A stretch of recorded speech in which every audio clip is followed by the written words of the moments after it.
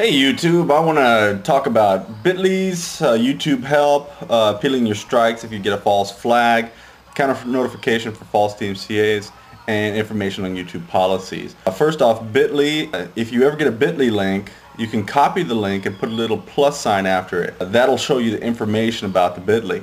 Uh, YouTube help, go there if you need any help. On the left side when you click the link that I'm putting, it's a bit.ly uh, slash YT help. Um, if you go there, you could go to the forum on the left side if you have any questions or if you want to submit something that's not in YouTube help anywhere. Also appealing your video if somebody false flags you. Uh, I put uh, a bit.ly slash uh, YT appeal. Uh, that way you can go there and appeal the strike that somebody put against your video.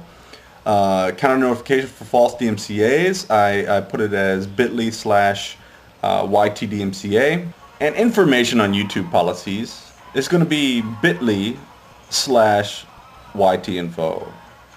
Thank you for sticking around.